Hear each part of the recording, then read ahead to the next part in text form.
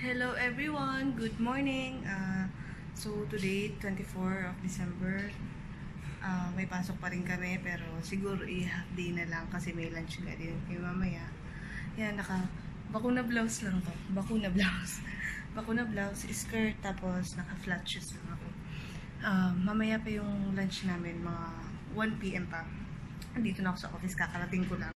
Alam nyo ba, itong buko dapat beach wave to eh. Kaya ng epic fail.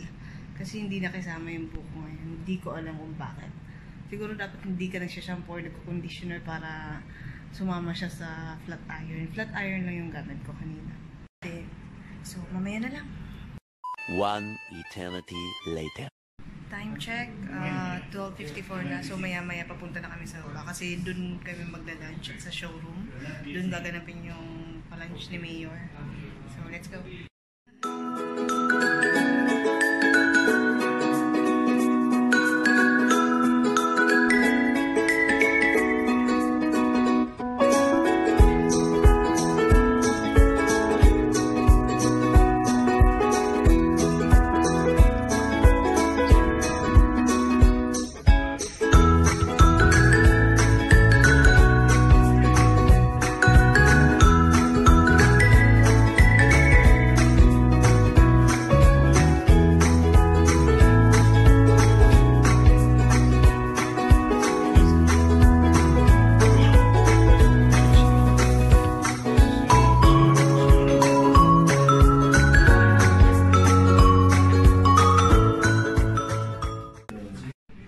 Kakatapos lang namin mag-lunch. Uh, dito na ulit kami sa office.